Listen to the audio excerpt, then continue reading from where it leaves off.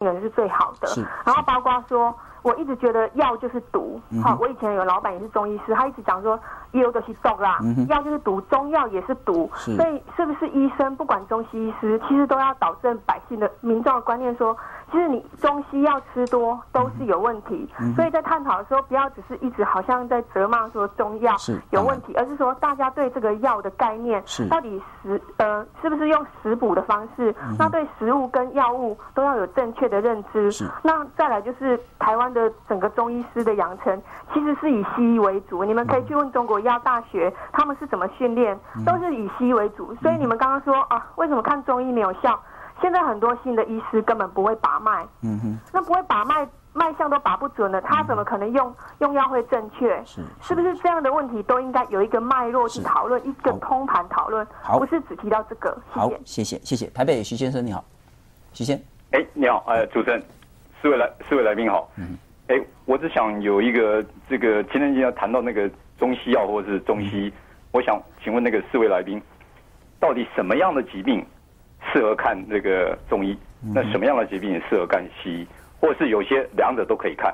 另外一点，在西医有所谓的这个，你要询问第二个意见。嗯哼，我不晓得在中医中医有没有这样一个说，哎，我看这个中医，哎，我要询问第二个意见，有这样的一个、一个想法或制度。是。好，我的问题就这么简单。谢谢。我们再欢迎龙潭的徐小姐你好，哦，你好，主持人好，那个还有各位来宾好，我哈，我是我自己的体验呐、嗯我我从哈一开始吃西去找中医吃中药来吃哈，是因为感冒吃西药头都会昏，然后还有很，比如说我鼻窦炎啊，吃的那个药都会那个医生开给我的药啊，都会好像好像我身体内部都很不舒服的感觉啦。嗯嗯哼，然后后来我就就都是找中医嘛。嗯哼，那还有哈，第二第二点哈，就是说我讲，不是不是只有中药才有问题。有一次有一次我从医生那里拿拿西医的医生那里拿一种药哈，嗯，吃一颗就呕吐。后来比晚上比较好了，又吃一颗，嗯哼，隔一下又呕吐，嗯哼，才怀疑说是药的关系。是后后来请教另外请教于另外的医生，医生查药点，才是那种药哈，有三味呕吐，等于说有有很有副作用是啊。是是是是哎是，好好谢谢。诸位，你也感觉足委屈的呗？头拄啊，迄个小姐嘛讲，啊，大家拢讲西医较好，中医较歹啊，中医较无效啊，有这样子的观点吗？我刚刚传统医学的的确有它的的问题所在，但是我想跟全国的观众讲，台湾的中医药，我认为它是世界上最好的。如果没有世界上最好，我也愿意把它带到世界上最好。我们一点都没有输给人家。比如说，我们现在已经知道说，哎，中药跟西药混合会产生问题，可是就讲在大陆，他们可能还在混呢，不知道但但是。咱基本上有一个问题无解决吼，就是讲来路不明的中药，来路不明的西药比较少。说实在，来路不明的中药真的很多。如果那个问题不好好解决的话，恐怕整个中医都要背上其实不应该背的这个责任。我们来看看，特别是在地下电台，我们好好来谈一下。地下电台，恭喜仔哈，真的是非常重要的一个媒体。就这阿公阿妈吼，大家在你大家一一进行哦，哪里有的亏起吼啊，你好你好，跟他亲家朋友的那个挨啥子了吼。可是他们所卖的药，真的有很多都是有问题。我们来看看地下电台药材的问题。云林警方日前才查获一家地下电台，除了查扣电台的发射工具外，还查出了这家地下电台在节目上兼卖药品，赚取黑心的暴利。行路真艰难，神经痛、筋膜痛、关节痛，拢可以使用这款中辉重音健步丸。节目主持人夸大的说辞，老人家长期下来被洗脑，只要听介绍就花钱买。但这些药究竟有哪些成分，有什么作用？老人家根本一问三不知。老人都唔捌唔知，唔啊那讲好就艰苦家己，那讲好就报就食咩，那报就食，那不管偌好，都偌好就食呢啦。但是药毕竟不是食品，吃多了会伤身。根据美国肾脏医学会在二零零七年所公布的年度调查报告中，台湾名列全世界洗肾第一名的国家。而我国健保局的调查中也发现，国人一年在洗肾上所花掉的健保资源高达三百亿。会造成这些现象，全都是因为国人爱吃来路不明的药。你养起来安尼吼，较紧来酸就酸就食落，水好对落呀，对新落，单就对啊。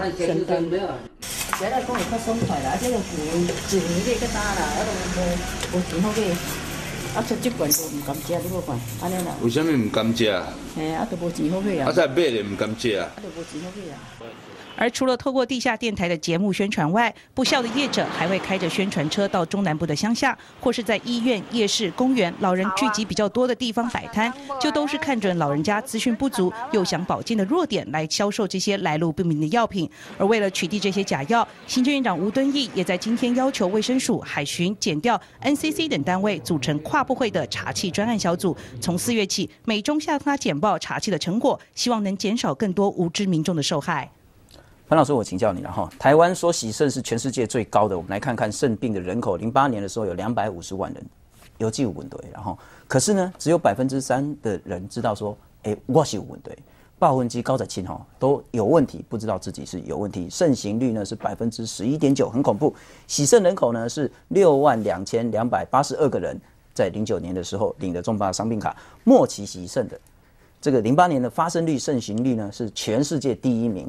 再来死亡排名呢是零八年国内死亡因素第十大，然后洗肾的原因肾丝球啦、肾炎啊、糖尿病、高血压、不当使用药物、自然老化。潘老师，不当使用药物是很重要的一个因素，而这可以归因给地下电台的药吗？呃，当然，呃，大部分是这样子哈，因为我们要知道一个很重要的一个观念，就是我们的肾脏的功能呢，一般这个测的时候呢，它肾功能指数只要超过一点五。就是表示肾脏已经开始病变了哈，那但是它只要一开始提高，就是你如果在一点五以下是正常嘛，对不对？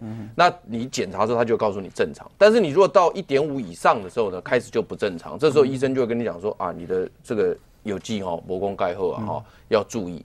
那很多人就会问一个问题说，那请问我林医师，我如果完全听你的话，我这个肾脏能不能回到正常？那医生一定会告诉你说没办法，没办法哦。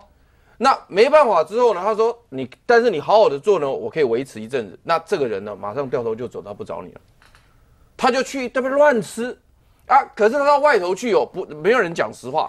其实这个医生讲的是实话，因为当你的肾脏功能高过一点五以后呢，确实我们没有办法让你回到正常是没有办法。但是你如果在医生的这个好好的照顾跟处理之下呢？可能你要到达洗肾的程度，还可以再拖十年、二十年都没问题。嗯，好，因为我们并不是说肾脏功能一不正常就需要洗肾，它必须要高到一个程度。当然，对不对？哈，那这一段时间其实是可以很长的，十年、二十年都可以。但是我们的人就很奇怪，当听到这句话说啊，你的弄不好啊，我老不爱听你，他就出去外面找找别人，对，去找别人，对不对？但别人在胡说八道，交了水更好，哎，交了水后，交了一个后，然后呢，通常哦。半年后、一年后啊，再回来找你的时候呢，已经要洗肾了。所以原来本来可以十年、二十年不洗肾的，但因为他出去乱吃，回来他就要洗肾。所以这边我要特别强调是说，这个医生告诉你说他没有办法让你回去，他是实话，全世界都一样，都没办法让你不要相信说今天你喝了我这个会好，然后你吃了我药丸丸都乱讲。所以这一点才是重点，我要把这个讲清楚，因为很多人都被这个骗掉。可是问题是我去看西医哈，他只给我三分钟的看诊时间，啊，我地下电台他给我好几天呢。对了，这治病就是有现实取向，就是我们调查过，说希望三天能好。那地下电台它是抢速效、抢快速，像快餐一样，但是相对来讲，它事实上是伤害他的。那这个问题怎样办？这个问题就是说，你一定要把这个量化，甚至把这个处方要摊开来，要去请教专业人士，而不是相信他这种像朋友枕边人一样来跟你。所以拜托咱的时段人，然后也有卖天，啊，有要钱吗？